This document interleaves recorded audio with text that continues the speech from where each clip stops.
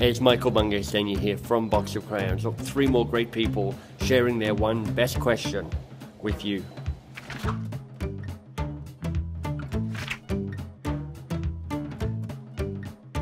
A question I'll ask clients if they're brainstorming or if they're stuck on something or if they're telling me their, their story.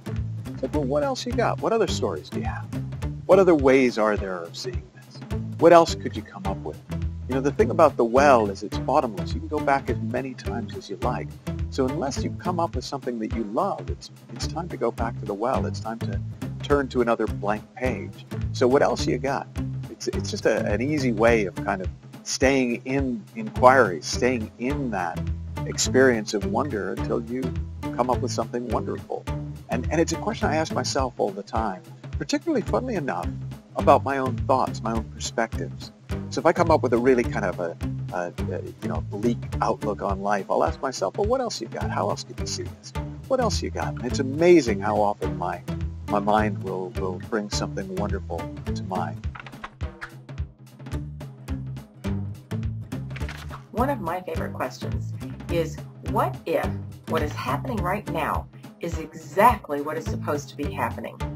Because that question always shifts me out of resistance and back into the present moment, out of my head, and into curiosity to see what's really going on. My go-to question is, who or what will it serve? Who or what will it serve?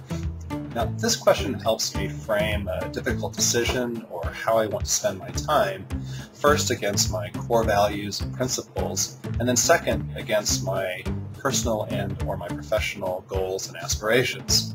Now, I think that too often we find ourselves reacting to issues in the moment or to other people's priorities, and sometimes therefore fail to ensure that this decision or this time is in service to what is truly important.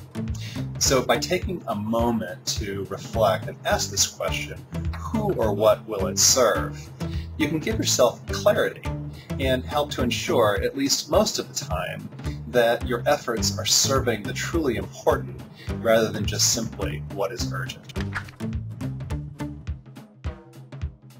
So there you have it, three brilliant new questions for you. Now, if you'd like a little more, download our report, Three Essential Coaching Habits for the Time Crunch Manager at our website, boxofcrayons.biz, B-I-Z or B-I-Z.